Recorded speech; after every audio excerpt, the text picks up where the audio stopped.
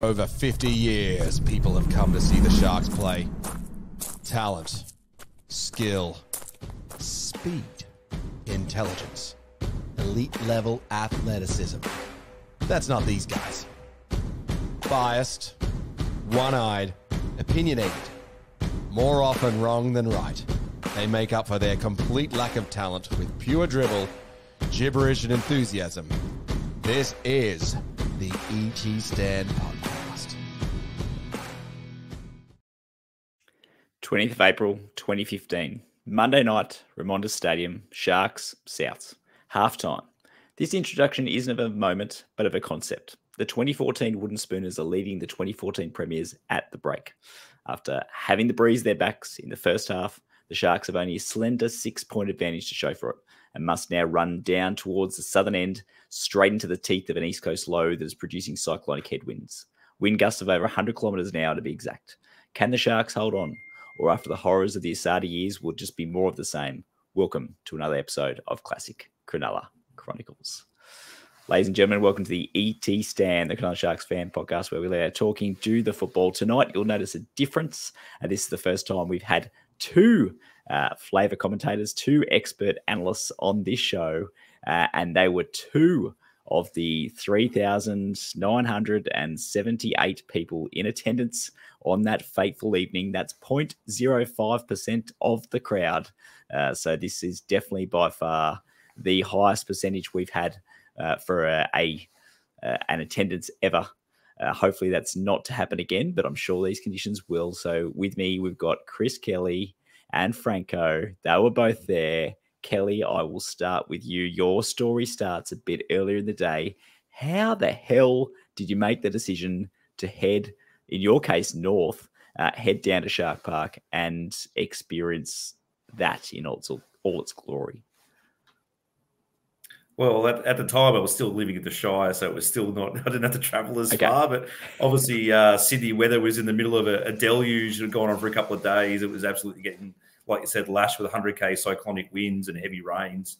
Um, and young Zach was staying with his uh, grandfather that day. Went to the shops and ran into one Luke Lewis and uh, got his photo with him. It was Zach's favourite player at the time, and so I got a little photo with him. And he come home and said, "No, nah, let's go to the game." I said, "Mate, look outside." like it's horrendous. He goes, no, no, I want to go, I want to go. And like, all right, we'll go to this game. Not knowing, like, thought, you know, we've all been to Shark Park before when it rains and it's pretty heavy sort of storms and things like that. And we always talk about, you know, where we sit in the ET stand, we're under the drip line. So I thought, well, we're going to get wet. Might as well just go and brave it, but not expecting what was there. So uh, we made our way down there. I, I think I spoke to Franco briefly and we sort of retreated back towards the corporate boxes. But even then, we weren't safe from the, the storms and the wind. So I actually uh, made contact with my brother-in-law, made our way upstairs to the uh, upper part of the ET stand to see how the other half live and go up there and watch the rest of the game. And uh, Zach still remembers he's not anything about the game, the weather. Just as we are walking up those set of stairs, got to the upper part of the ET stand. A, poor old lady was uh, trying to hold an umbrella at the time, and like Mary Poppins, got dragged back by the cyclonic winds and fell down about four steps. So had to help her up, and he was crying, and we're getting wet, and things like that. So we went and took cover at the back, the back couple of rows of the upper ET stand where uh, some of the South players are out that game. We're sitting up there as well. So yeah, a very eventful night. And you know, you, there's always those tourist jokes where you know my so and so went over overseas and all I got was his lousy T-shirt. Well, the Sharks were good enough to offer any of those brave fans that went there one of these uh, memorable T-shirts. Me and Franco are wearing tonight. Uh, says I was there, I was part of it and survived because we'll obviously go into it why it's got this emblem on there. But um, yeah, they offered fans who turn up free tickets to the following game and a, and a t-shirt when they come. So one of those ones you'll never forget.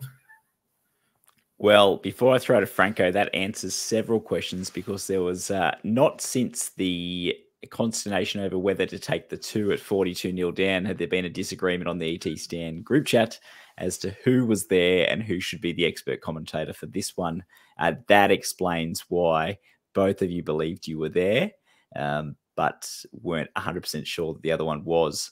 Uh, so Franco, the man who stayed in the e- lower ET uh, and bore the brunt of it, we'll say, I-, I, reckon even the guys and girls in the Monty Porter stand would have been copying it as well, despite the fact that the 100k an hour wind was behind them, probably getting some kind of, I suppose, whirlpool action with some rain coming in either side. But Franco, what were, how did you end up down there? CK was just living the life of luxury up the top of ET, and I was down there copying it.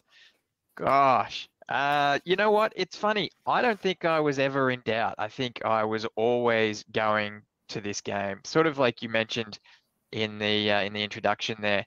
We'd we'd come off, come off the, uh, the, the wooden spoon the year before. It was you know, probably shouldn't have had that wooden spoon. It was almost pushed on us by circumstances at the time, and it was a real get behind the team season for me. I think I attended every every home game, and I even attended a whole bunch of away games, which for me is is super rare. So the fact that it was was wet and windy and miserable, it was wasn't really a factor. It was just I'm going to this game. Uh, to make matters worse, it was worse. It was a Monday night game too, right? So um, yeah, it was it wasn't it wasn't a fun game to get to. It wasn't a great time slot, and uh, there were you know news reports coming out telling people to stay at home, don't travel, don't go to the game. Um, I was, it, they just started coming out as I was leaving, but I'd left early to go and see the um, game before it, and it was uh, yeah. By the time some other people started rocking out, like, oh, it's crazy, you shouldn't be here. They said don't travel, but we came. I was like, oh, didn't really hear that, but yeah, that's that's nuts. Um, and they were doing the the pre-game show, which was normally normally held down on the field, and uh, it was Gaznia sitting or standing at the, the back of the lower ET stand getting filmed and giving him a bit of stick. And he's like, "Oh, there's no way I'm no way I'm going down on that field. I, that's miserable. That's awful. They don't pay me enough to get down there." Um, from memory, he did actually end up getting down there, and his umbrella was going inside out, and he was having a terrible time uh, as, as a sideline reporter but it was it was just a great great game, great moment to be at. Obviously, the result helped, but uh, I'm really glad I was there. Lots of fun. Oh, great to see that you two were there because pretty much all of the rest of us weren't. Uh, or each of us had our own excuses. I think the best of the lot was my brother Blake, who did go to the game, did qualify for the t-shirt, and left after under 20s because I don't madness, right? You go all that way, you half the battles getting there for goodness sake. And he left before first grade even started to get home to watch it on the couch. I mean, anyway, shout out to you, Blake. That was one of your smarter moments, or not. But um, anyway, qualified for the shirt, so he bought at least uh, was one of those people technically. So it was three thousand seven hundred and ninety-five that were there. Um, but uh, or, or 97, sorry, I'm doing my maths wrong. But uh, Boldo, don't know where he was. Uh, myself, I was living and working in uh, Gippsland in eastern Victoria. One of the few times in history, I reckon, that uh, Sydney had worse weather than down there. That's a really dour, dire place with just constant southerlies and rain going sideways off Bass Strait. But uh, it was a balmy evening. I think it was single digits, but no rain uh, as I was watching this one, going, "Good golly, what's going on up there?" But uh, it was great viewing. So moving it's right along. Typical, the... typical scenario of, of, the Fox coverage these days as well, or even Nine. The camera work is so good, and the the filters they've got on there. You don't see the rain on most of those shots anymore. You know, sometimes you get the the the, the camera shot from the, the guy carrying it on his hip, and you see, oh, gee, that's a lot of a lot of rain. But you know, watching the footage, it looks crystal clear, but there it was just it was whitewashing across the field. It was it was just intense, and just to show that the game's gone soft. I think the other games that weekend were put on delay and had timeouts and breaks because of concern of player safety and fan safety because they didn't want people traveling. Um, but we went there. Sharks were there. We got our wet on. It's an interesting. Yeah, you're right. It's an interesting uh, tangent there. Games being uh, delayed or just completely cancelled due weather or postponed it happens a lot in European football. Obviously, with uh, ice, snow, rain that affects the, the pitch. But the only one that I can think of in memory was also in 2015 when Lang Park flooded for the uh, Anzac Test between Australia and New Zealand on the Friday night, got delayed to play on the Sunday, and New Zealand carved up and won by quite a lot on that Sunday afternoon. But I remember there was talk of the, the match against Dragons early in 2024 this season for whoever's uh, watching later. Uh, there was talk of what Dino being down at Bunnings and buying a pump and pumping water out of the the the, uh, the in goals and the, the the flooded I think northern end, but that held up okay. But this one, if you ever you're going to postpone a game. It was it. Didn't happen. So play on. Um, Sharks. Sorry, they did, they did have discussions with the players. They actually asked them. It was actually come down to the players to see if they wanted to go out in these conditions, and they all said yes. That's the only reason they actually continue with this game. The NRL was willing to can it, but yeah, the players said no, we'll go out and play it, and probably because the Sharks probably thought they might get a little one up on the the reigning premiers, the Rabbitohs. So yeah, well, I, did you remember Flano's uh, comment regarding that after the game? I think uh, I heard it today, so I'm just it's fresh in my mind. But I do remember oh, okay. when I heard it. I remember him saying at the time. Yeah, I don't he remember. Said, he said uh, this is in the Triple M coverage afterwards. He said uh, they asked all the players uh, and the referees. We agreed everyone could swim, so out we went. Um, so that pretty much summed it up. But if that did happen, I wonder where they would have fitted into the schedule. We talk about a tight schedule, uh, condensed bye period, would they jammed into the origin period? It, they would have had to replay it or make it up somehow. You can't just go, oh, give each team a point and carry on. I think that their TV coverage, all the rest would have need to fit it in some way. It would be really interesting to see how they make that work. Um, maybe interesting because we didn't have buys back then either. So yeah, so or there was, I suppose, there were periods of downtime during the like split rounds, let's call it, during the Origin period, but it, it probably would have made it even worse, I suppose, trying to shoehorn it in there. Not that we had many, oh, we had a few players in Origin, but moving forward to the form going in. So uh, we were 11th after starting the season, zero and four. Our, illustrious leader, David Balderman, expressed uh, surprise at that. Um, that if he knew his trivia, he'd know that the Sharks uh, started the season 0 and 4. Uh, opening round loss to Canberra, followed by the first one in our run of the preceding five matches. There was Brisbane Broncos at home, 10 points to two on a Friday night. Uh, I watched that game on delay. That was back when Channel 9 refused to show matches live and Fox couldn't simulcast. Uh, so that one I wait up to about 11.30 to find out how bad our season was starting. Uh, next week, we played in Melbourne, lost 36-18. Uh, then Wade Graham threw it to, uh, who was it? Uh, was it Roberts? I think, to uh, run the length and mm. score an intercept try to win 24 22. Uh, then things started to change. The Easter weekend, Jack Bird on his starting debut, getting a double, winning 20 to 12. And then we bet the Knights in the wet the preceding Friday, 22 to 6. So started to turn the season around. Do you guys have any uh, specific recollections of those matches in there?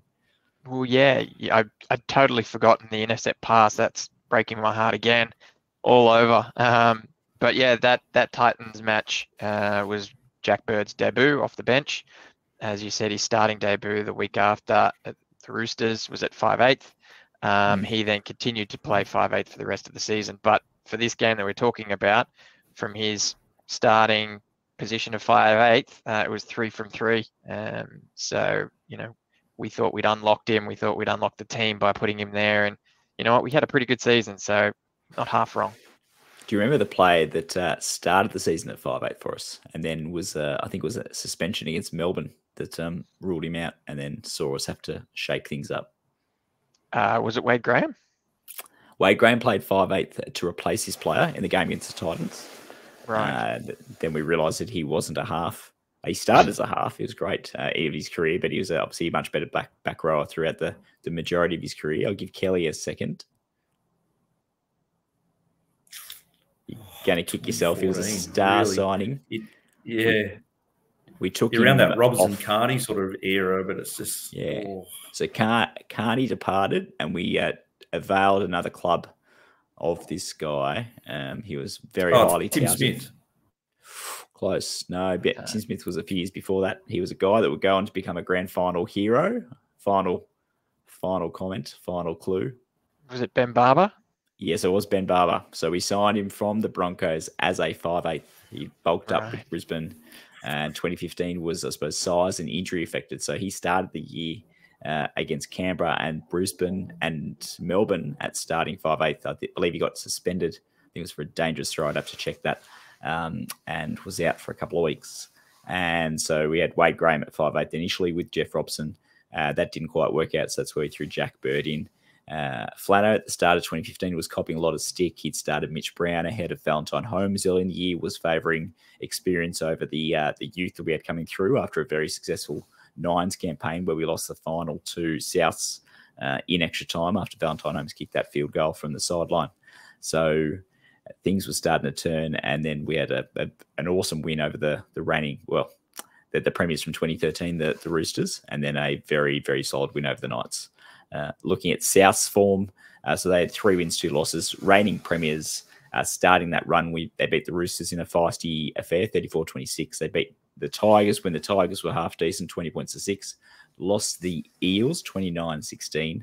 They snuck home against the Bulldogs in an Easter uh, Easter Good Friday clash, I recall, uh, where there was some late controversy. The Bulldogs went ahead to lead 17 16. And I think there was some kind of off the ball incident between David Klemmer and one of the Burgess guys. I think from memory, Isaac Luke in there. Um, Klemmer got sent to the bin. Penalty goal was taken by Reynolds. They won 18 17. And then they got pumped Was by that the the, Cowboys. was that the 30 James Graham finger match?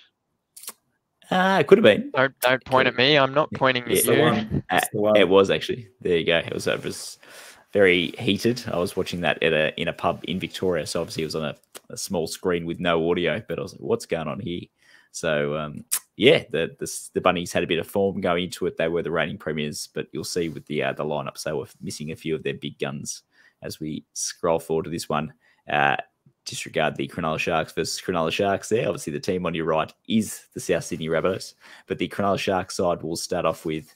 Uh, so we've got Valentine Holmes, the fullback, the wingers, Sosaia Feki, Michael Gordon, the centers, Gerard Beale, Ricky Leutele. Uh, this starting to ring bells, ring bells for those uh, fonding or yeah, fond of a certain year, the following year. The halves, Jack Bird, Jeff Robson. The front row, Matt Pryor and Jersey 16s into the starting lineup with Michael Ennis at hooker and Chris Heighington at uh, the second prop position, and the back row of Luke Lewis, Wade Graham, the captain, Jayson Bukuya on in jersey 17, and then the bench of Sam Tagataese, jersey 8, dropping back to the bench, Ben Barba, Anthony Tupou, Tinirau Arona, the coach, Shane Flanagan.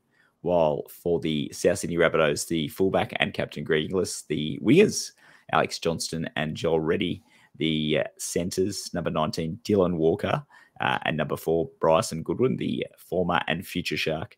Uh, here's your five eight, number 18, Cameron McInnes, replacing uh, number six, Jen, uh, Glenn Stewart, of all people, who is in turn replacing Adam Reynolds slash John Sutton. Uh, the halfback was Luke Keary. The front row, George Burgess, Isaac Luke, Dave Tyrrell. Back row, number six, Glenn Stewart. Bizarre selection at five eight there, but it moved to the back row. Uh, Chris McQueen and Jason Clark, and the bench of Chris Grevsmuhl, Nathan Brown, Tim Grant, Tom Burgess, the coach, Michael Maguire. Thoughts, Chris Kelly? Looks like you're ready to hook in. Comments? Yeah, um, obviously, like we always talk about, you know, looking back at 2015 or 2016, we wish he had a crystal ball, but you could kind of feel that team that we had. There was a real good mix of youth, still a few youths to come in, but like you said, the excitement of uh, Jack Bird being included, uh, and we had the experience in Luke Lewis, Heighington, Innes, Wade Graham, uh, Jeff Robson, Michael Gordon, those kind of guys, and obviously Val Holmes coming up. Uh, we still had Ben Barba on the bench, and we still had Tupou playing around for us. So yeah, you kind of felt on paper, you look at that team, it's you know, a pretty good star-studded team. They should do a lot better where they started and where they finished. But and again, you know, playing the Bunnies, they just come off a like we said, a premiership in 2014, so they still had a, a star-studded lineup themselves. Interesting to see McGuinness in there, and uh, obviously Dylan Walker. And it's funny to see a lot of those guys are still going around in the league, if not for South, like Alex Johnston. Um, and a few Dylan other Walker. guys are still there. One of the Dylan Walker, he's still at the Warriors. Seven, seven Uh, still Burgess, playing. This was nearly seven still ten playing, years just ago. Seven still playing. Yeah, so Luke Keary. um, yeah, Side Nathan point on Brown still Burgess. going. Val Holmes, Jack Bird. Um, Yeah, you got a lot. Um, looking at McInnes and Keary's the halves combination. I don't know if you guys had heard. I think it was on the Sam Burgess pod, podcast uh, interview. I think it was with Luke Keary, um, and also too it was around Origin time where McInnes made his debut. It was talk about the how and the why both McInnes and Keary left uh, South around this time. Keary at the end of this season, and McInnes a year or two after. Did you? guys hear about that and a certain incident up at Russell Crowe's farm. So uh, apparently, a very, let's say, inebriated Russell Crowe had absolutely lost to Cameron McInnes um, in such a way that uh, Keary was there and Keary was good mates with McInnes. I believe they played uh, a fair bit of juniors for South coming through the grades. Uh, and that was where he himself had said that was his turning point going, I don't want to be associated with this club. And I thought that was a pretty big and telling comment. No one's really spoken out against the, uh, I suppose, the aura of Russell. And obviously, he's done an, an enormous amount for the uh, the South Sydney Rabbitohs. But um, it was things started to fall apart and fall apart quickly for the Bunnies less than a year after they won the comp. Obviously, immediately after they won the comp, Sam Burgess went to English rugby and things started to move, I suppose, probably in the, the wrong direction for them from there. So um, that was that. McInnes obviously went on to the Dragons and then us, but Cle- but Keary going to the Roosters. I know that obviously Latrell's done as well, but and the stupid book of feuds, it, it's it's not a thing. There's eh, I.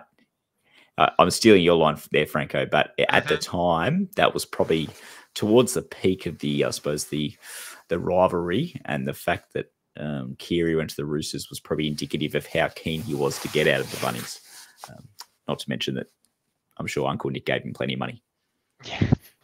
I didn't know. I knew of the uh, the Keary side of that story. I didn't know the McInnes involvement. So that's interesting. Yeah, it was. I found it very interesting in the fact that it was it was being spoken about in multiple channels in the media around the time of McInnes's debut as well. Um, so obviously these are just uh, points of opinion from these players, but uh, where there's truth, there's smoke, there's fire, I suppose. But yeah, you're right. That that team of ours, uh, obviously Jeff Robson uh, would be one that would move on at the end of the season. Uh, had done so much for us, but uh, just get getting Maloney um, unlocked so much for that side. Uh, Michael Ennis was only in his seventh match for the club.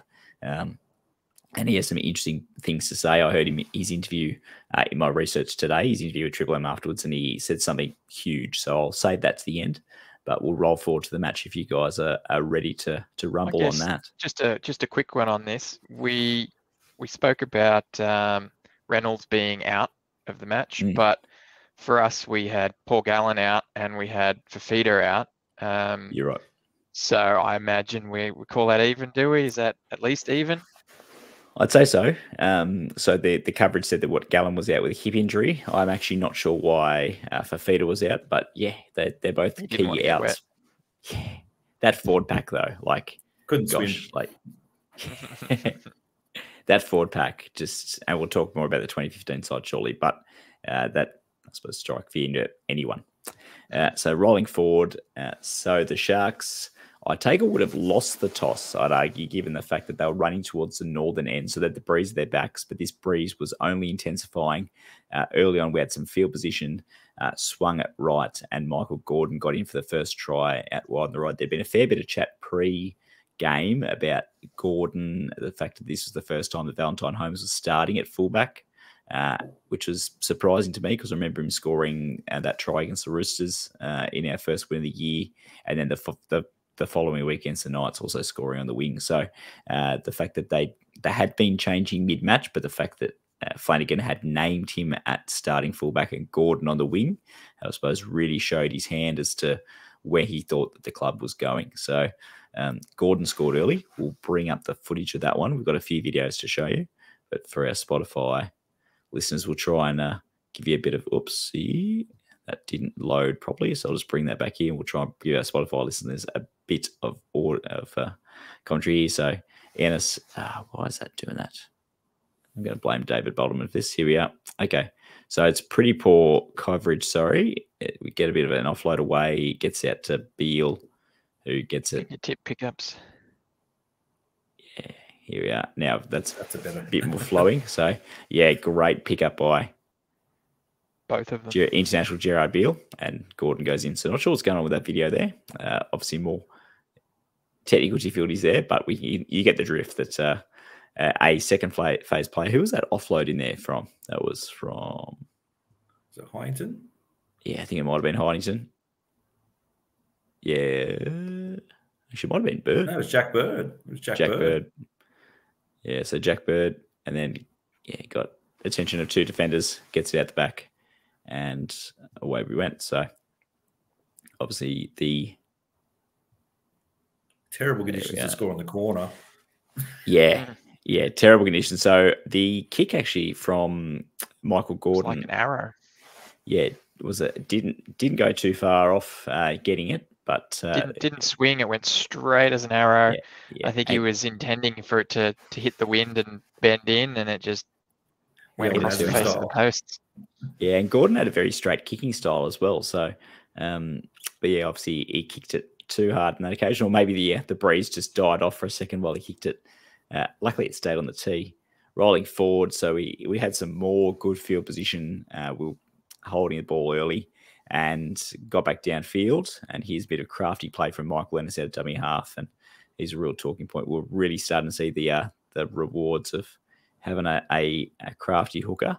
Uh, Ennis, of course, taking uh, or coming to the Sharks in a bit of a swap of sorts, or a uh, unintentional swap between him and uh, his name, Michael Lichaa, who was the next big thing, going to the Bulldogs and going from there. So, so Ennis out dummy half. This video works.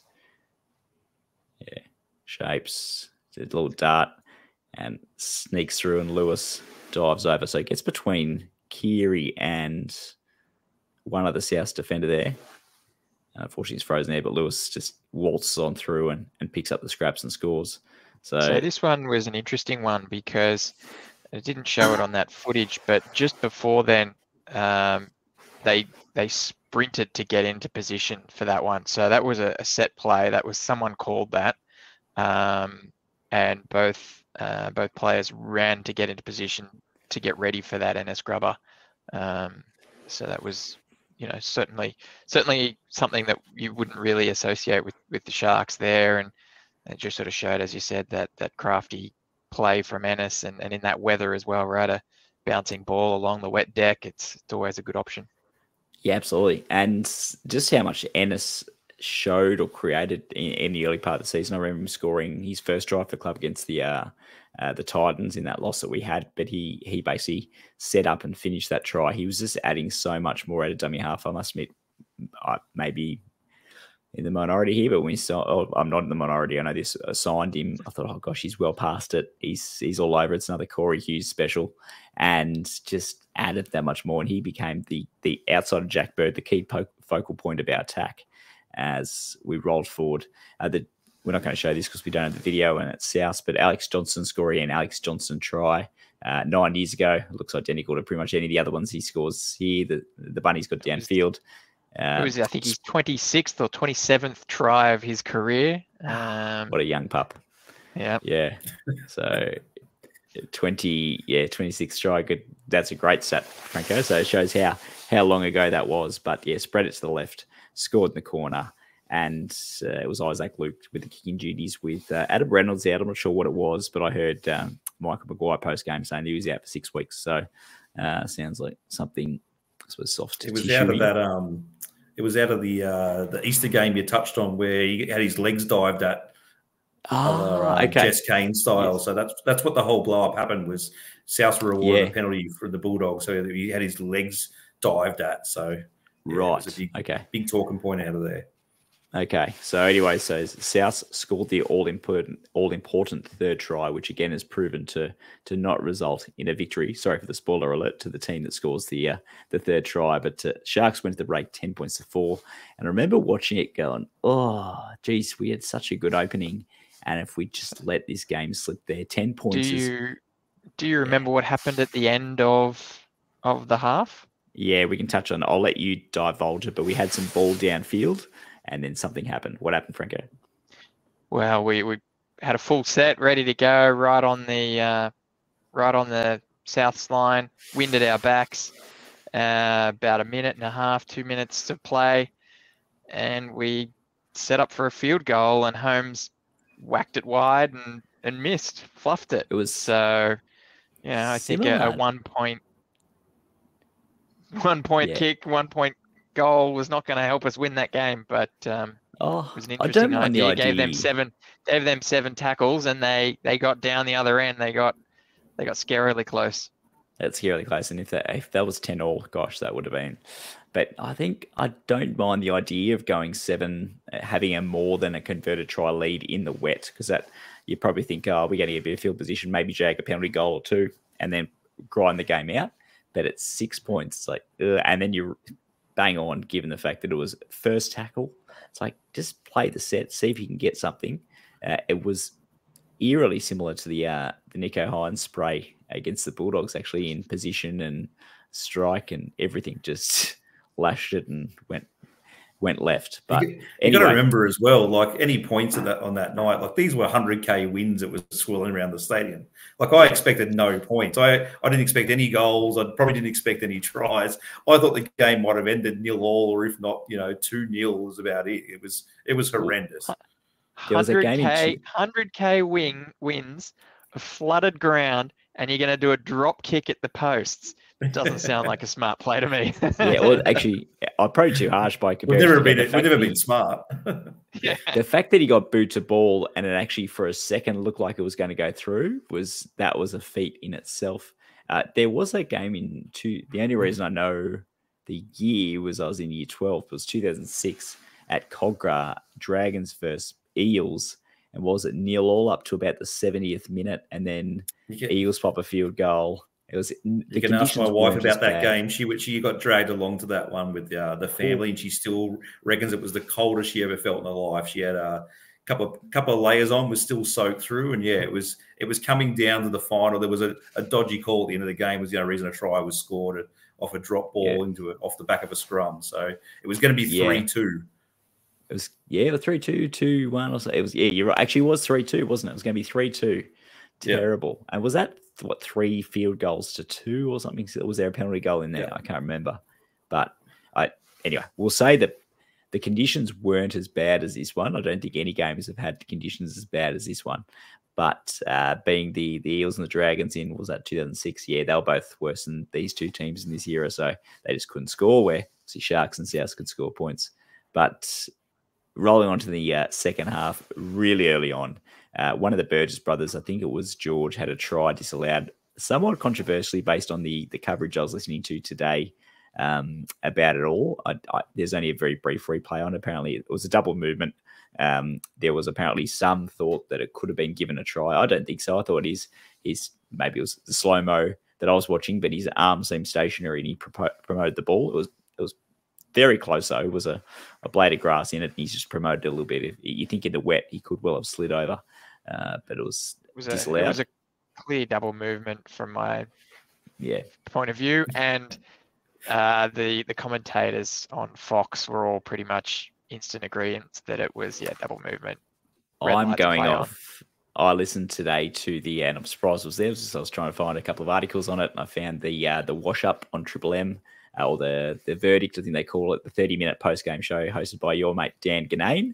Uh, Peter Sterling was on it, Andrew Johns, Bill Harrigan. It's a pretty good listen, actually. Uh, and there was a bit of uh, heated conjecture um, about why it should have been a try from Dan Ginnane and Andrew Johns. Uh, and it was Sterlo and Bill Harrigan shouting them down, going, no. But I suppose that doesn't surprise me when it comes to Dan Ginnane and Joey Johns, even though it was close to 10 years ago. Uh, they most certainly had money riding on Souths. But anyway, that's uh, that's probably why that was the case. Um, anyway, so Burgess no try. Then we went downfield. I think Ennis actually almost scored there, but it was disallowed. Uh, anyway, we got a penalty goal, go 12-4 up. And I was feeling a bit more confident and comfortable there. I don't know, actually, comfortable is not the word, but a bit more confident with an eight point lead.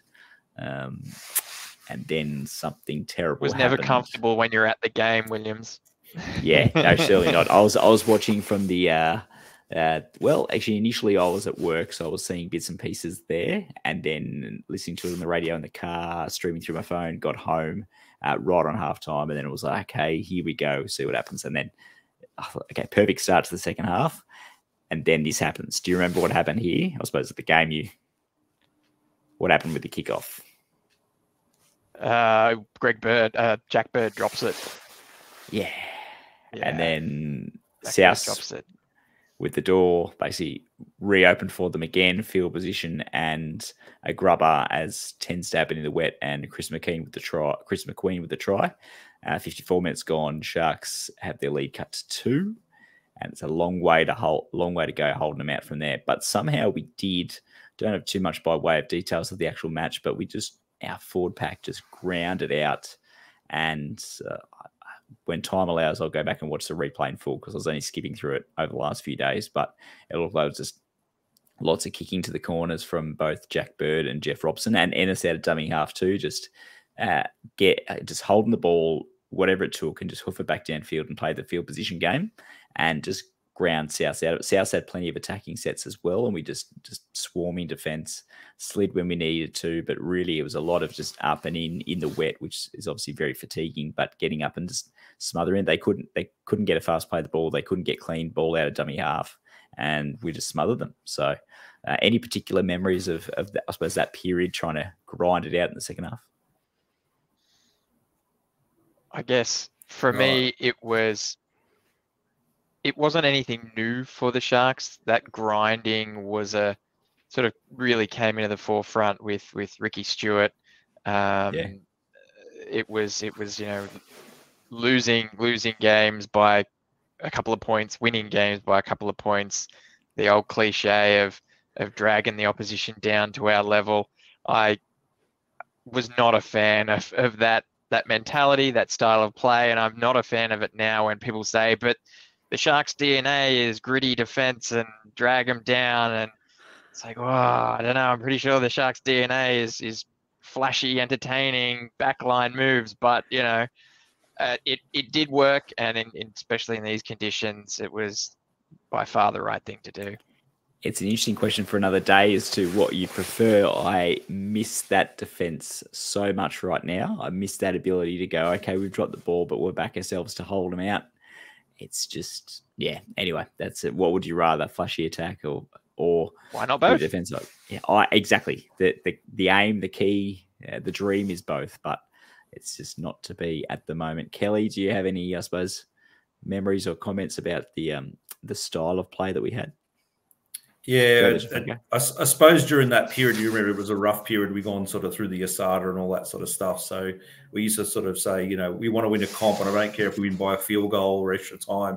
But um, I'm pretty sure I was about 10 years younger and a lot uh, less greys were going around until this sort of period of drag them down and, and rub it out because the grand final literally took – that many years off my life, um, and so do these games because it was just games. I was confident, you know, in the 2015, 2016, 17 era. Like, come to 10 minutes, we're up by two. I was pretty confident back in our defense. But God, it was hard to watch because it was just torturous because we weren't going to offer anything in attack. We were just like, we'll back our defense. Like you said, kick them in the corners and bore them out. But God, it was just, oh, the heart couldn't take it. Good thing Gus Gould wasn't commentating this one because I'm pretty sure you would be dead if you played a drinking game with him uh, or you having to drink every time he said Bermuda Triangle with these conditions. Triangle. But yeah, so there de- definitely was a Bermuda Triangle um, a feel to it. But uh, it will add to the stage the final try uh, in the 74th minute. We'll get that working again. And uh, we got Ennis out of dummy half again.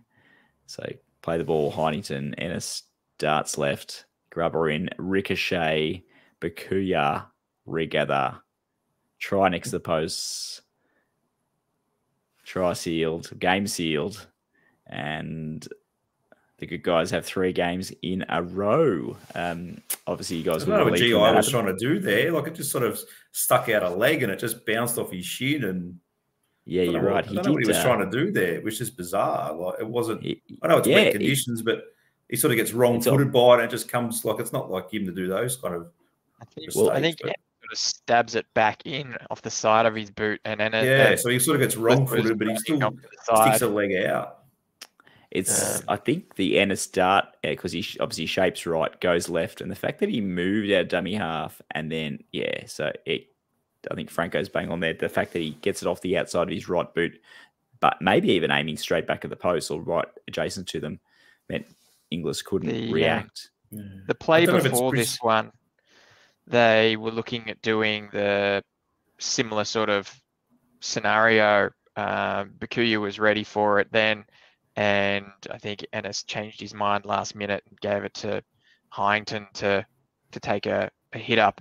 So it was certainly something they were looking to do, but it was something that Ennis saw that made him call it off, and then the next play, ready to go, uh, let's hit it. So whether it was wrong position or players in not the right spot, I'm not sure. But we also got this set off a um, off a penalty where I think Holmes was stripped, um, and so we got a full set at their line to to get this one. So it was all a little yeah, bit. Nice. You even see that setup where they, where they're set up in that attack sort of formation, like Jack Bird's out lot. onto the, the right the right hand side. But there must, like you said, there must have been a call because it was the second row for Souths run about five meters offside to try and shut it down, and that that allowed the gap to occur. Like Ennis was close to going himself, if not, you know, three other Sharks could have scored that try if not for a deflection. Like we would have got the yeah. ball back 100% the way the ball was going into the in goal area, which we, me and Franco enjoy. A little grubber in there, a little reset restart if we can. So grubbers 60% of the time work every time, but we're rolling straight forward in the talking points with Ennis, and that's it's topical right now with Brailey. Uh, a little bit to do with, I suppose, the um, the hooker we had play on the weekend as well in Beryl. But Ennis was just watching this game so dangerous and he didn't know what he was going to do. And he was a genuine additional playmaker, focal point at dummy half. And I don't think, I'm trying to think if we've had it before or since. Uh, just, you're right, they had the, the, the attacking, I suppose, the deep set line to the right. There was, I'd actually argue, there was even opportunity to the left. If he, um, I'm not sure if it was Robson or anyone floating at the back, but there was players in motion to the left as well. Uh, but that second row jumped out of line. He had the opportunity, puts the grubber through. Brailey just, I don't know, he ran a bit the other night in the game against the Cowboys uh, in that loss, but he just doesn't provide that added layer of doubt in the defense mind. Um, you just know that he's going to shovel off to someone, and there's no kicks out of dummy half. Uh, Ennis, a lot of jumping out of dummy half, which is, is one thing I don't like is when you see Seguiari used to do all the time. He just pick it up and take a step, not a, it was a telegraph step. It made no sense. Like just get clean play, clean ball out of the ruck where Ennis is constantly looking left, shaping right, or looking right, shaping left, or looking right, going right because the, and and the, the marker, the defense was always in doubt as to where he was going. He's not exactly fast. He's at the end of his career, and he was. I'd have to look at the stats, but I think our highest try assist um, maker uh, in 2015. Sorry for the poor English there, but it was a, a real focal point of our attack and just added so much uh, in addition to all the youth we had come through with Holmes and Bird and the like. So uh, while we, I suppose, Frank, I'll start with you. Your uh, thoughts on Ennis in early 2015? Yeah, so um, you made a, a, a, comment on, you know, you said it, it wasn't a, unique scenario, um, but the idea of people not being a fan of the Ennis signing, wanting to keep the the young gun coming through, Michael Lichaa, um, terrible signing. What are we doing? And a lot of that really stemmed from the the the grub persona, but also you know you, you touched on he was towards the end of his career. He wasn't fast. He you know maybe didn't have it anymore. That game um, might have been in 2014 uh, against the Bulldogs after it was announced that Alicia was going there and Ennis was on his way out. Um, Ennis had a point to prove in that game, and he he won them that game, and he even scored by grubbering through for himself and trampling over a couple of Sharks players to get to the ball and score. And he he let Lichaa know that he still got it, and you know, he he proved everyone wrong coming to the Sharks. He had a lot of a lot of zip about him. He had a lot of creativity. He still had a lot more to give, which you know in hindsight, and, and the rest is history. By the time 2016 was over, we were asking him to sign on for another year.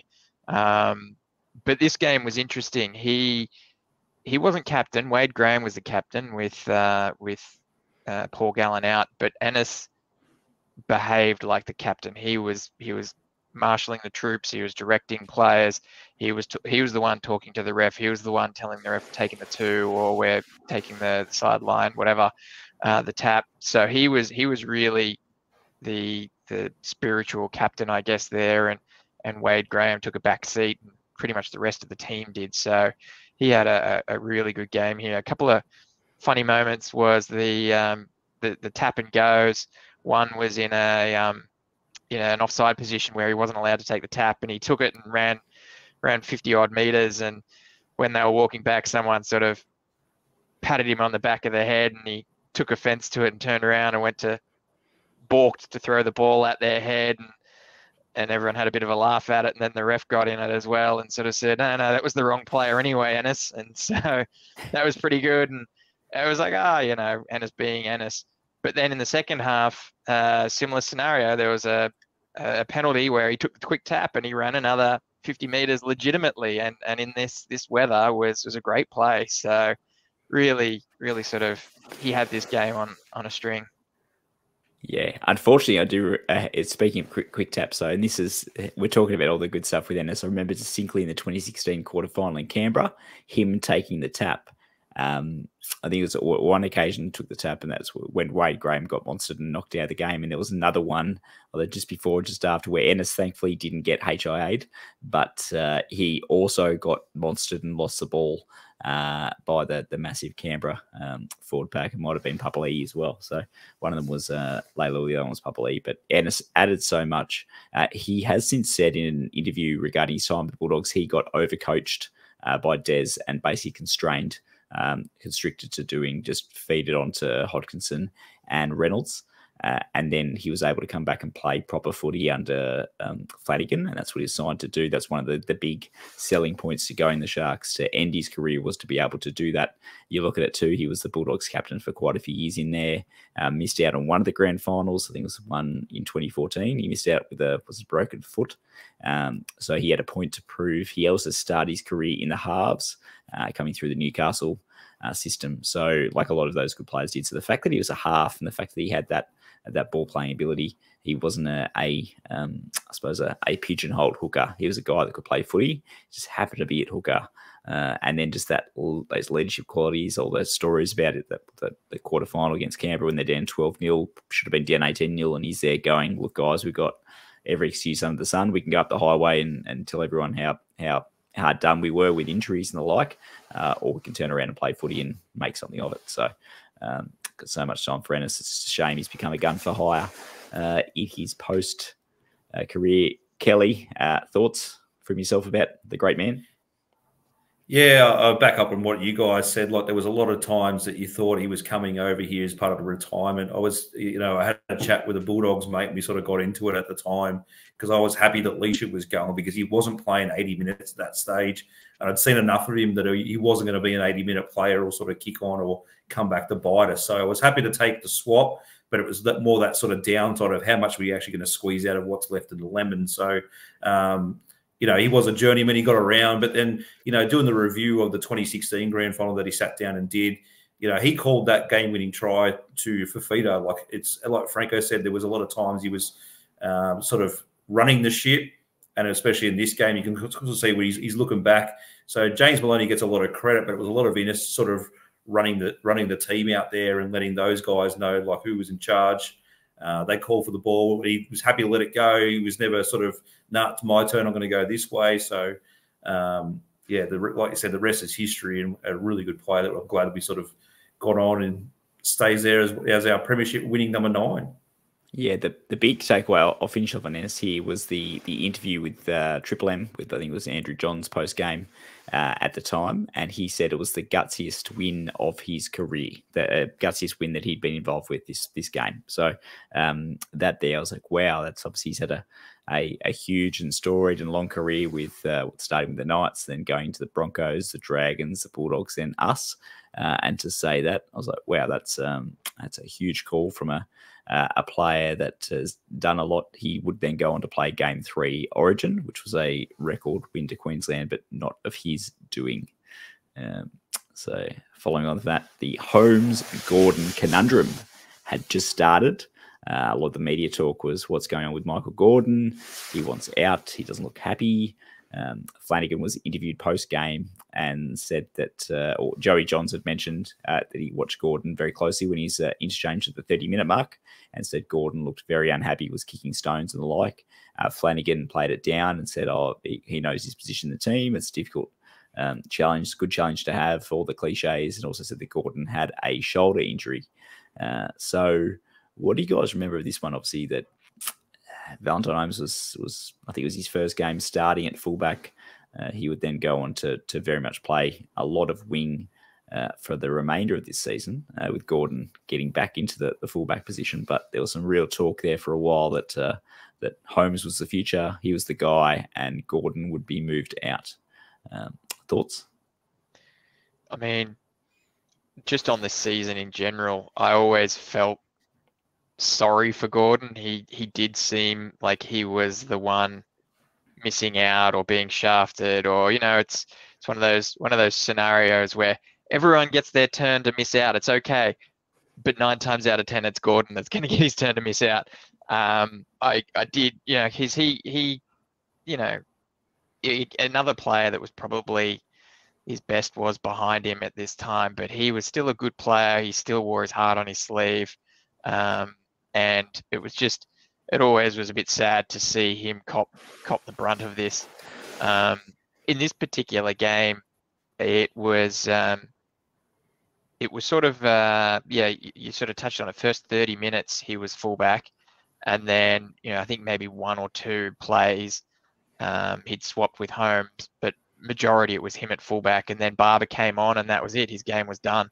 It was Barba at fullback for the rest of the game, and I think that's sort of indicative of, of how the, season sort of panned out. He he was there to to know his role, but his his role was to just I don't know. I don't think I don't think Flano had the heart to to drop him at that stage, or he wasn't confident enough in Barba, one of the two, and and he just always seemed to to get the raw end of the stick. Yeah, Barba still had the, the the body shape of a five eight or built up, so he didn't have his speed. He had a lot of injury troubles as well throughout that season. And Gordon had that, I suppose, depth. There was a very real chance he would go to Parramatta mid season. Luckily for the club, I suppose they didn't release him because he did provide a a, a lot of coverage at fullback as the side settled as the season went on. Uh, but yeah, you're right. At that point in time, I was like, oh, Gordon looks like he's on his way out the door and he's big money signing. And in the coverage I was listening to, still, I was talking about how much of the salary cap you, are holding him. He, he's your star fullback, and you're basically playing him either off the bench or the wing. That's something you've got to deal with. Uh, but I suppose that's the the uh, um, I suppose, unfortunate byproduct or the fortunate, depending which way you look at it, of having talent like Holmes and Bird coming through. So uh, he did finish that try there at on the wing, but had been playing a bit of fullback. And in the coverage I was listening to, too, they were talking about how uh, they could use it throughout the season and say you could you could have uh, Gordon um, and Holmes doing similar to what the Roosters had done a year or two before with uh, Minichiello and Tuivasa-Sheck. Tuivasa-Sheck was clearly the uh, the up and coming fullback, but he hadn't got his attacking skills, his passing game up yet. So Minichiello would uh, remain there in attack. Uh, with Tuivasa-Sheck as a finisher, but then you'd start to at certain parts of the game switch and swap them around and and develop the guy um, while still having the safety blanket of having the uh, the 300 game fullback um, that Minichiello thereabouts was. So, Kelly, do you have any uh, thoughts on this one?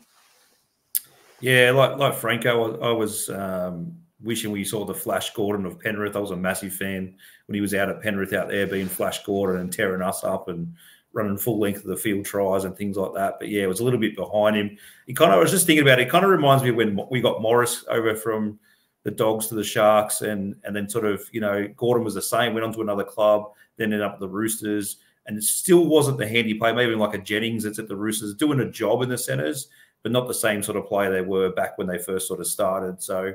Um, I wish he was, but it was kind of like we've got even the situation now, the the whole Iro Stone Street Talakai situation where who do we keep and who do we select and things like that. So um, handy goal kicker, but it was yeah, you can see Ben Barba. It's kind of like when we sent Jack Bird as well up to Brisbane, put on the weight to play five eight slash lock. I don't know what kind of regime they got up there. There's been rumours and stories for many years, but whether it was McDonald's, but yeah, Barba was not the same sort of player he left when he went from the Dogs to the Broncos, and then um, come obviously come good later on at the end of the season, and then obviously 2016 was absolutely electric. So uh, yeah, wish we saw Flash Gordon, but it was obviously a bit of a, a, a downturn being at Cronulla and felt sorry for him because he went through the whole 13, 14 sort of saga. So, uh, yeah, a nice reward, but you know, these things happen. It's a, it's a business, as they say. So, he'd been through, you're right, he'd been through 13 and 14. He was our player of the season in 2014. I think he was thereabouts in 2013. He was just a, a great clubman, you'd say that. And then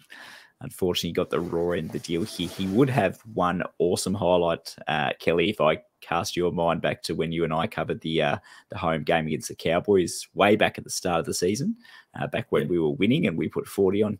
Uh, we touched on the, the, the only other 2015 game we covered this year in this series was the home win over the eventual premiers, the Cowboys. In that game, Michael Gordon scored a 90 meter runaway try. I remember being about a 40 or 50 meter try. It was 90 meters where uh, he uh, outpaced Lachlan Coote to score. So he picked up a, he caught a bomb, I believe, beat a couple of guys, uh, got in got in the backfield, and Coote for all money looked like he had him covered.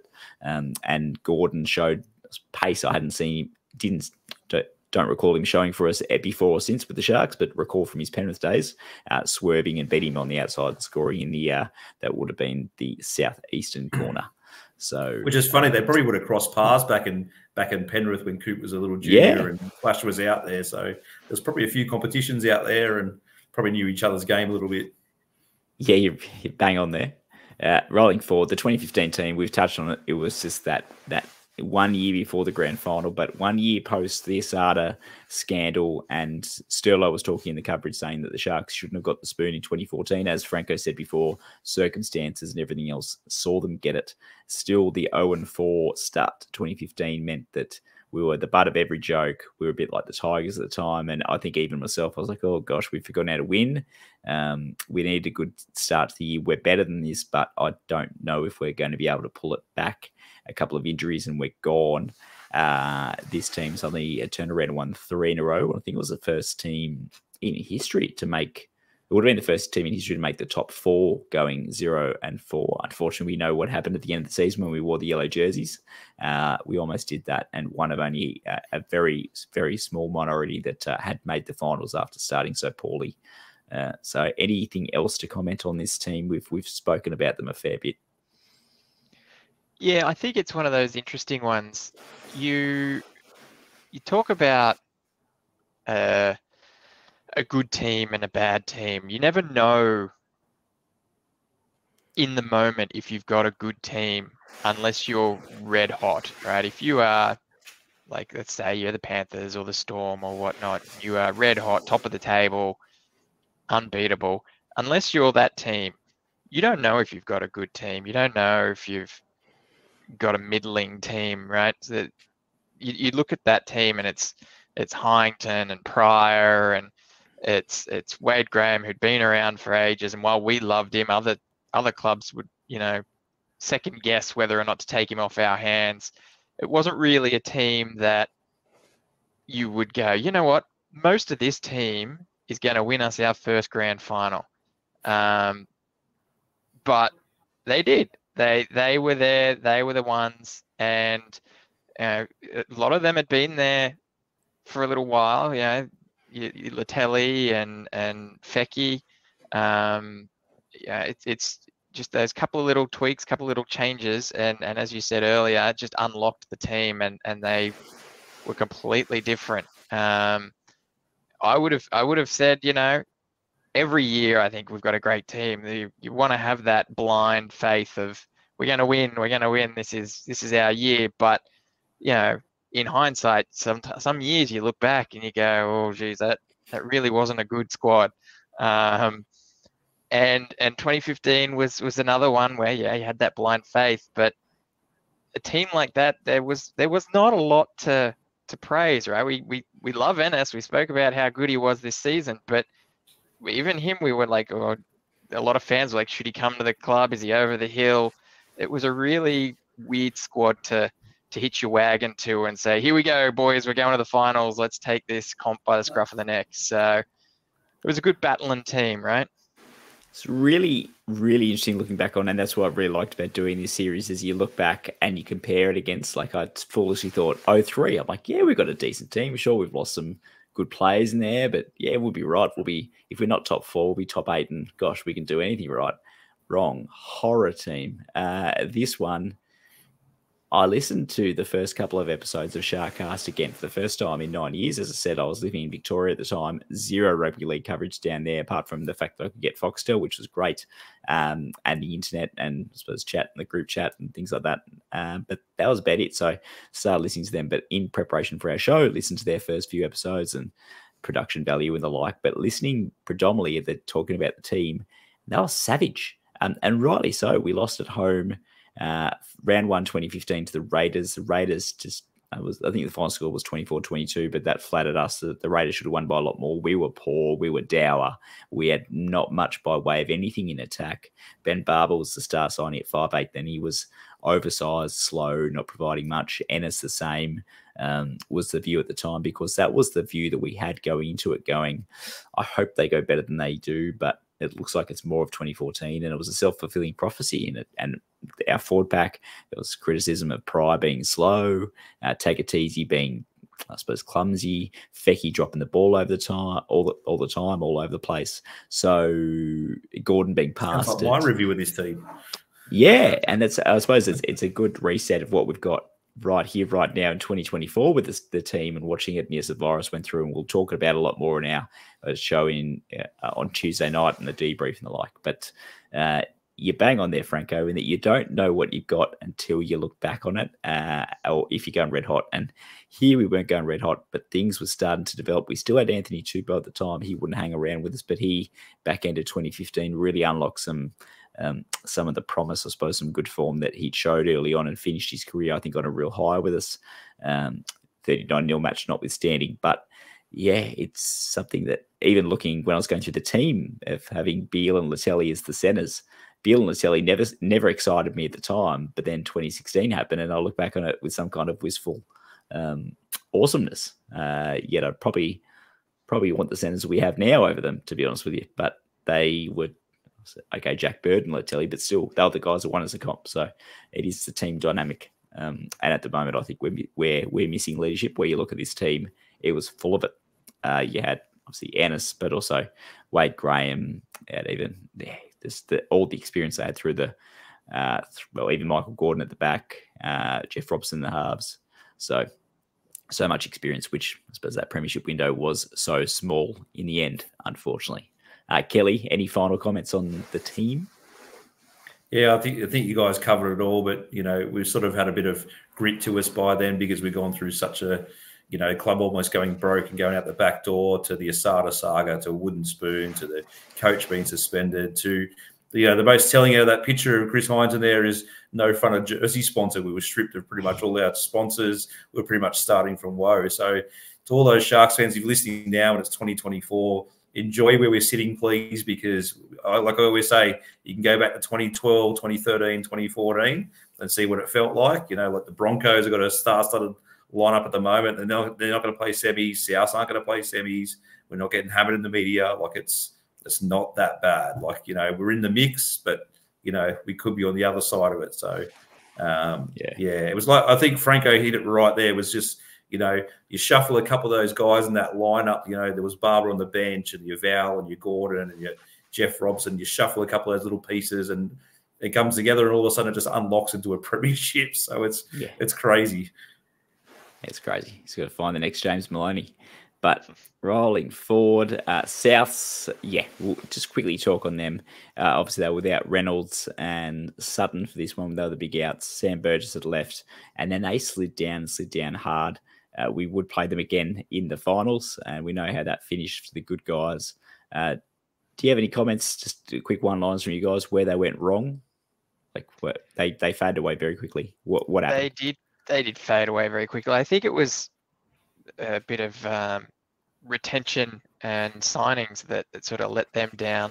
Um, if you if you look at this team, I was surprised to see players like Joel Reddy, Glenn Stewart, um, you know, it was just one of those pieced together teams. It wasn't it wasn't a, a, a squad that you would remember South having, and this was seven rounds after winning a grand final. Um, you know, it's it was a shell of the former team that they were, and I think, you know, it was it was I don't you, you touched on earlier, maybe there was rumblings behind the scenes. They they, you know, set out what they'd achieved to set out. It had been a long time. They've really the narrative for them started with getting re-entry into the comp and um, and working their way to this point.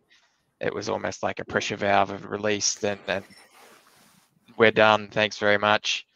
Let's bask in the glory because it wasn't a good year, a year for them.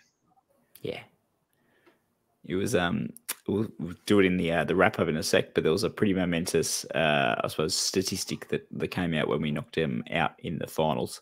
Uh, looking at it, similar weather matches. So this was the one that took the cake, I reckon. But there was plenty of others in our history as well. 1996, uh, in the middle of a, an East Coast low, we beat the Knights 22 0. Uh, covered that quickly in one of our other episodes. In our, I think we looked at our top five wins to nil. That was against a, a pretty much full strength uh, Newcastle Knights side. A double to Paul Donaghy and some tries to some other legends as well. Saw us win that one in terrible conditions. There was about 5,000 people there for that one. Uh, 2004, we played a game without rain, but it was an East Coast low again against the, the Bulldogs, howling southerly. Uh, the Dogs won that one. I think it was 37 to 28 or something along those lines.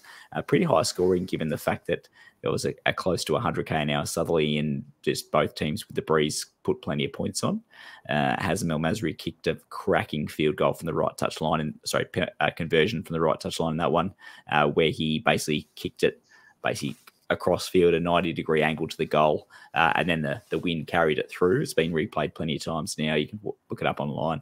Uh, and then one that i just uh, so that one that was also at the match in 2010 which was from the uh, so 2007 against the the warriors. We lost 12 points to two. That was the same weekend that the Pasha Bulker incident up in newcastle happened. But uh, well i suppose on weather we'll touch on your guys shirts uh, the theme kelly why? You're the merch guy why that picture? Oh, this picture, uh, credit to these boys that turned up to the match and they got plenty of coverage. So there was a couple of young fellas turned up in scuba gear, uh, down in the front in the uh, in front of the Monty Porter stand and standing down there up against the fence, wearing the full scuba gear. So the uh, guys was, at marketing got together. And, Kelly. I think they were yeah, down family inland. They were just fully exposed. So they moved around throughout the game, but they sort of they stayed in their wetsuits and you know those sort of gutter areas where um, quite full and number 10 and they were swimming. So uh, there's been a few other situations in the NRL. We've seen games like that as well. You guys have turned up to try to emulate it. But this is, I think, the first time that uh, fans have actually turned up in full length wetsuits and scuba gear. So um, so the team, the team obviously got together and put, put out these shirts and said, I was a part of uh, Sharks Storm Remondis. And it's got the date on there. And it's obviously, Franco turns around there, it's got the scuba mask on the back. So as a Sharks member. But I do know there was another game I went to once in 2000 against the Roosters where we absolutely got spanked, and I sat there before the Monty Porter stand was was built, and I sat there and just got absolutely soaked to the bone. I think it was like by the time I hit 28 nil, I'd had enough and, and left. It was just crazy. Was so that the one? It is the Bermuda Triangle. I still. Yeah.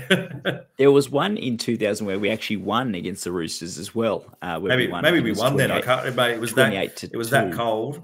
Yeah, yeah, that was that, that was monsoon like conditions, and our current coach Craig Fitzgibbon kicked the uh, opening penalty goal on that one, and then it just, uh, yeah, it the there was torrential. I think Brett Howland scored a try where we just hoofed it downfield on the first tackle, and the ball just sat there, uh, and then you just towed it through and scored. But uh, this one, they were talking just a final point on the the coverage with regards to the weather eh, on the Triple M coverage. They were talking about how good the drainage was, and it still remains the case at Shark Park about how how many mills they'd copped that day, how many mills they copped during the game, uh, and there really was only what two? They said two puddles uh, at the the southern end between the 10 and the 20 meter line, uh, which would then re, uh, I suppose that was Dan Ginnane and Peter Sterling talking before Bill Harrigan goes, pull your heads in, guys. They're, they're, they're lakes that have formed there. But still, the fact that comparing to what would have been the case maybe at the SCG or Leichhardt or any of the others, or Brookvale, or even Shark Park back in the day, uh, back in the 70s and 80s, would have been an absolute mud pit. Um, so it shows how far the game has come uh, as we finish off with the wrap up. So Sharks 18 tries to Michael Gordon, Luke Lewis, Jayson Bukuya, uh, Val Holmes two from two, Michael Gordon one from two, defeated the South Sydney Rabbitohs 10, Alex Johnston. Uh, misspelling there, and Chris McQueen with the tries. Isaac Luke one from two. The Sharks have finished sixth, 14 wins, 10 losses. So pretty good recovery given they lost their first four. Unfortunately, lost the following week in Anzac round against the Panthers. So that stopped our ability to be, I think, the first team in history to lose four straight and then win four straight. So no team has done that yet. Uh, to the best of my knowledge. Uh, and then we also lost that final round home match against the Manly Seagulls in those yellow jerseys that would have put us in the top four uh, to be the first team to open a season zero and four and make the top four, uh, while the South Sydney Rabbitohs limped into the finals in seventh. Uh, so that's 13 wins, 11 losses. Uh, for the young ones who maybe don't remember this one, I know you guys remember this well. We would then play South Sydney week one, the final 6v7. And the big statistic was this was the first time ever that the previous year's Wooden Spooners had beaten the previous year's Premiers uh, in the finals. So Sharks winning that one I think my highlight. So there was what the three tries in the first half. There was the, the Jack Bird, um, the inside outside Luke Lewis. We'll cover it another time, but the the which was basically identical to the try. I think Jack Bird scored against the Roosters, but um, outside inside. So Luke Lewis with a quick inside ball. Jack Bird's flying away to score in the uh, the right corner early on. Um, Andrew Fifita with the back spasms pre-match and being ruled out from the warm-up, which is the most fight, or not quite the most fight thing, but close to it uh, that I'd seen uh, Wade Graham with a great pickup to score. But then I think my favourite try was just Ennis with three runners, just like showing left, right, and then just giving it on to Tupou to just barge over under the post to the deafening roar of the Sydney Football Stadium, the old Allianz, uh, to put us 20 0 up at half time. Uh, we won't mention what happened after that in week two of the finals, and that was 2015. Uh, Kelly, anything, any closing comments for yourself before I close with Franco?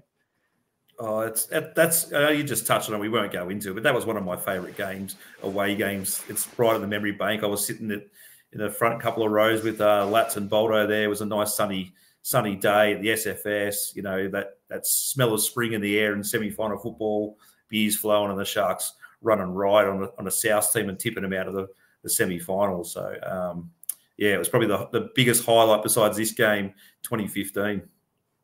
Yeah, Franco. I just thought, bringing it back to this match, uh, we had a 7 2 penalty count in our favour, um, which certainly helps in these conditions. But on the flip side, Souths had 63% possession. So, really, you talked about our defence earlier. We really backed our defence, we backed the grind. They had all the possession. We managed to pretty much keep them down their end of the field for most of it as well. So, we, we had great line speed and um, it was probably one of those games that was was character building for not only the rest of this season but for the season to come. That's really funny you mentioned that because in the coverage I was listening to, they said that the Sharks had won every penalty count bar one. They had the best of the first seven rounds of 2015. They had the best discipline in the competition, one of the best completion rates, and in this match they had a completion rate of 37 from 41.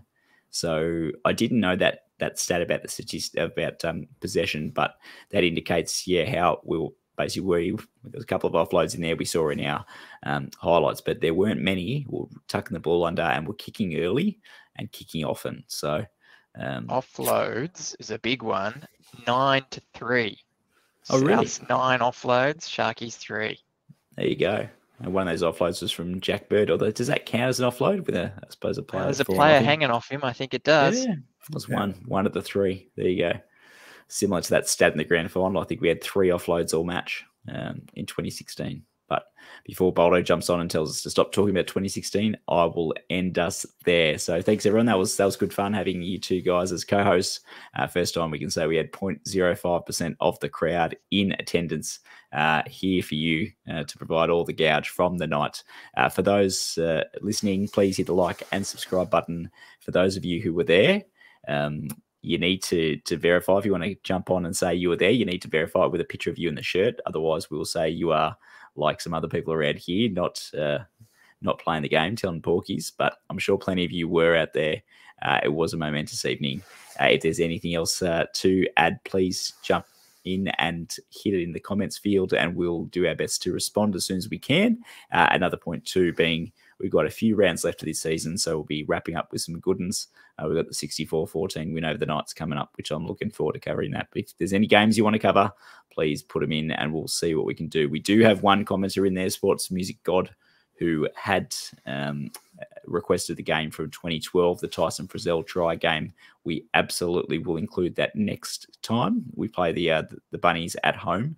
Uh, that is next cab off the rank. We were going to do that. In the fact that I found out we had two esteemed members uh, in our company that had been at this one. In the meantime, uh, we will say farewell and up, up Cronulla. Go Sharks.